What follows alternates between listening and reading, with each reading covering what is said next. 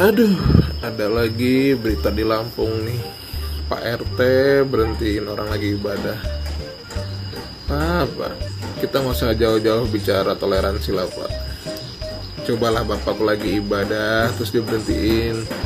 Misalnya nih Bapak lagi ibadah, tiba-tiba leher Bapak dinya kucing kan gak enak Pak. Tiba-tiba berhenti lagi ibadah Pak. Udah gitu Bapak ya, jangan serakah Pak kalau udah bego jangan bodoh pak. Serakah benar pak. Pak. Apa salahnya orang ibadah pak? Mereka jangankan ibadah pak. Seminggu sekali. Bangun tempat ibadah aja mereka susah izin ya pak. Ini diberhentiin lagi-lagi ibadah. Aduh pak, pak. kalau emang musiknya kegedean atau mengganggu ingat aja lah kata Habib Jafar. Musik itu kan nggak haram pak. Yang haram tuh bunyi sendok piring kita beradu tuh kita lagi makan terdengar sama orang yang kelaparan. Nah, itu haram pak. Bapak tahu nggak waktu di jabat jadi RT itu RT itu apa kepanjangannya? Rukun tetangga pak. Bukan rusuhin tetangga. Aduh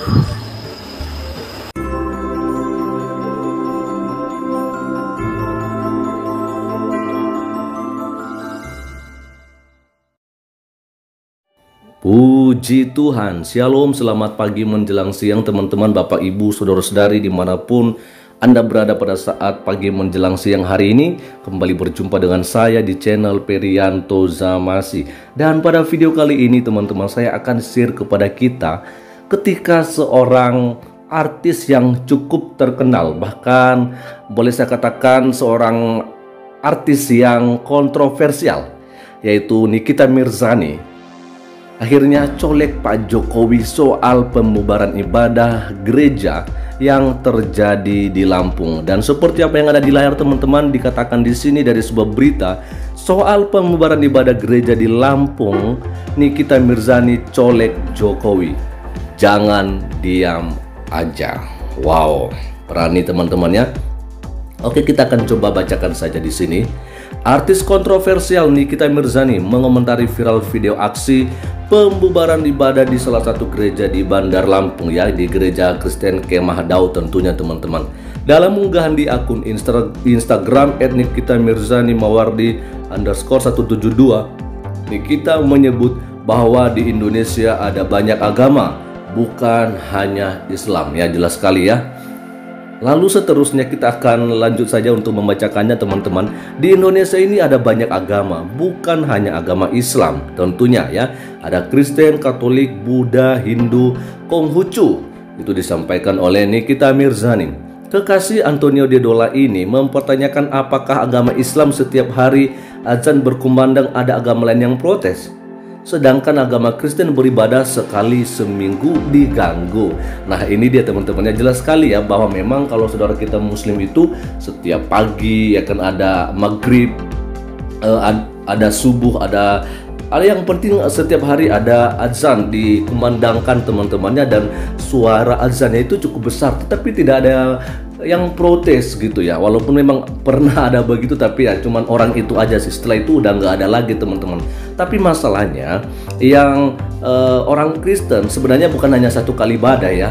Karena ada juga ibadah sekolah minggu, ada ibadah pemuda, ada ibadah pria, ada ibadah wanita. Tapi yang lebih kenal itu memang cuman hari minggu saja datang uh, di gereja, tapi malah diganggu, ya kan? Ma, ini dia yang jadi permasalahan uh, sekarang di Indonesia kita ini, teman-teman. Nah, ini dia penjelasan penjelasannya ya. Yang beragama Islam setiap hari ada azan berkumandang setiap pagi, siang, sore, dan malam hari, ya kan? Ditambah ada pengajian yang selalu kita bisa dengar apakah agama lain ada yang protes? Atau tiba-tiba yang lagi adzan atau ngaji, kalian suruh stop sampai diubarin atau diusir? Nah, itu benar sekali teman-teman yang nggak ada, jarang. Bahkan nggak pernah kita dengar ya. Agama Kristen itu ibadahnya cuma satu kali seminggu, ibadah umumnya ya, memang cuma satu kali ya. Kenapa kalian ganggu? Sudahlah, jangan pada arogan saling menghormati aja agama satu dengan yang lain sambungnya. Oke, luar biasa sekali teman-temannya. Perempuan yang akrab disapa Nyai ini pun mencolek Presiden Jokowi. Wow, dirinya meminta agar Jokowi memanggil orang-orang yang mencoba menghalangi agama lain yang be, yang ingin beribadah. Ini luar biasa sekali ya teman-temannya.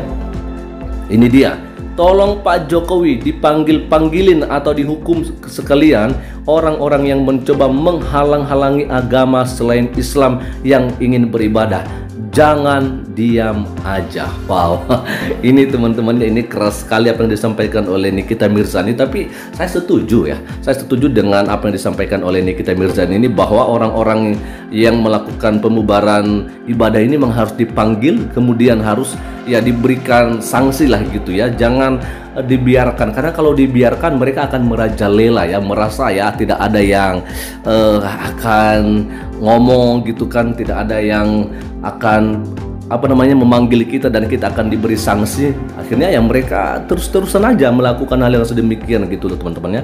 Lalu di sini juga ada uh, disampaikan oleh uh, Nikita Mirzani. Berita di TV begini mulu bikin malu aja. Wow benar pejabat daerahnya juga pada belagu. Nah ini dia memang uh, pernah disampaikan oleh Pak Menteri Agama bahwa soal pendirian rumah ibadah juga ini adalah menjadi tanggung jawab dari kepala daerah ya kan. Kalau memang belum ada atau tidak memenuhi persyaratan sesuai dengan peraturan bersama Menteri Agama dan Menteri Dalam Negeri ya ya tetap saja bahwa kepala daerah harus berusaha me mencarikan ya atau menyediakan sebuah gedung untuk orang-orang yang tidak memenuhi untuk pendirian ibadah persyaratannya untuk boleh menggunakan gedung atau tempat tersebut untuk melakukan ibadah mereka sehingga tidak ada lagi yang mengganggu-ganggu begitu. Artinya ya dikasih izin gitu loh. Karena permasalahannya ini kan yang terjadi di Lampung ini karena tidak ada izin. Nah artinya begini di situ kan sudah ada, sudah ada gedung. Tinggal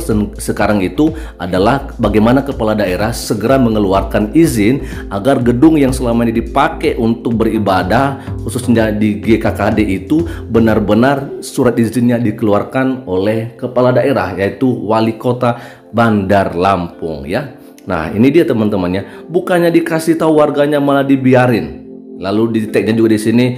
Uh, uh, akunnya Pak Mahfud MD teman-temannya dan juga Pak Kapolri. Hayo Pak. Gerak kalau dibiarin makin jadi itu orang-orang di daerah sambungnya benar sekali ya. Jadi di sini juga dia menghimbau ya atau meminta Pak uh, Menko Polhukam teman-teman dan juga Pak Kapolri untuk segera bergerak atau bertindak kepada orang-orang yang melakukan pembiaran oh maksudnya pembubaran ibadah yang terjadi di daerah-daerah teman-teman ya. Nah, ungguhan Nikita Mirzani tersebut mendapat beragam komentar dari netizen. Tentunya ya. Nah, ini dia ini dia komentar-komentarnya yang ada di sini teman-teman. Aku non muslim dan rumahku dulu pas depan masjid jalan setapak aja batasnya. Tapi aku nggak merasa terganggu saat suara azan malah justru suka karena mengingatkan soal waktu entah sore, malam atau subuh. Dan saat kami ibadah sore yang seharusnya jam 5 kami majuin jam 4 setelah sholat asar dan selesai jam 5 lewatlah sebelum maghrib jadi kami masing-masing nggak merasa terganggu indahnya hidup bertoleransi salam damai tulis netizen. Nah ini benar sekali teman-temannya nggak pernah terganggu ya. Kita nggak pernah bilang ah ini ngapain ada azan? Nggak nggak pernah bilang gitu Bahkan benar juga apa yang disampaikan oleh yang nulis di komentar ini bahwa justru dengan adanya adzan itu uh, ada subuh ya tentunya kita udah bangun ya kan dan sebagainya membantu kita justru paling tidak seperti begitu teman-teman ya. Lanjut ada juga yang berkata di sini Quran menyuruh untuk menghormati agama lain. Yes ya kan siapa pun muslim yang tidak menghormati agama lain adalah melanggar perintah Allah tulis netizen lainnya. Wow, ini suka banget dengan komentar-komentar yang seperti begini teman-teman ya. Tapi ada juga di sini yang uh, komentarnya memang kurang cocok dengan apa yang disampaikan oleh Nikita Mirzani ini dia menggir, menggiring nggak sih kok bawa agama Islam? Bukannya oknum. Agama Islam yang saya tahu tidak pernah mengganggu umat lain beragama sekalipun mengusir kata netizen. Ya benar memang yang melakukan itu adalah oknum ya. Jelas sekali bahwa yang masuk di dalam gereja itu adalah seorang ketua RT ya.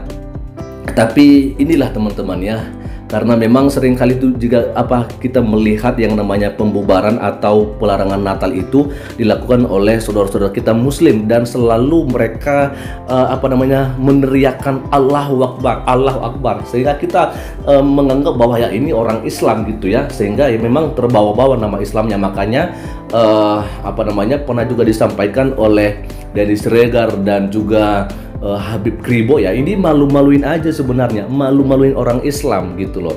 Ya artinya ya kenapa? Karena memang selalu uh, membawa-bawa nama agama juga ketika mereka melakukan uh, tindakan mereka itu. Ya mereka selalu meneriakan Allahu Akbar Allahu Akbar dan sebagainya. Makanya saya pikir mungkin banyak orang berpendapat bahwa ini ya orang Islam gitu kan. Oke lanjut ada juga di sini ngapain isu agama selalu diangkat? Bukannya udah damai Emang sekarang daerah mana yang ribut-ribut agama lagi? Cetus netizen. Ya, seharusnya kalau misalnya udah suka uh, buka apa namanya internet pasti tahu dong ya di mana aja terjadi yang namanya pelarangan ibadah dan juga termasuk pelarangan pendirian rumah ibadah. Oke teman-teman dan segitu aja dulu dari kita Nirzani dan kita akan lihat video yang satu ini. Ini dia.